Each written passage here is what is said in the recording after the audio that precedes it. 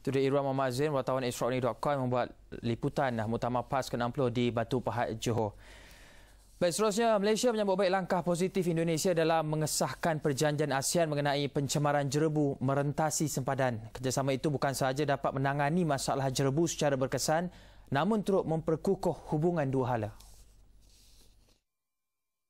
Menteri Sumber Asli dan Alam Sekitar Datuk Seri G. Palanivel menyifatkan Indonesia menunjukkan komitmen dan keazaman kuat bagi mengatasi masalah yang merentasi sempadan itu. Beliau berkata Malaysia telah menunggu pengesahan Indonesia agar usaha menangani jerebu yang berlaku setiap tahun di rantau ini dapat dilakukan bersama. Parlimen Indonesia pada Selasa mengundi untuk mengesahkan perjanjian serantau itu 12 tahun selepas kerajaan Indonesia menandatanganinya. Perjanjian dirangka selepas berlaku jerebu paling teruk pada 1997.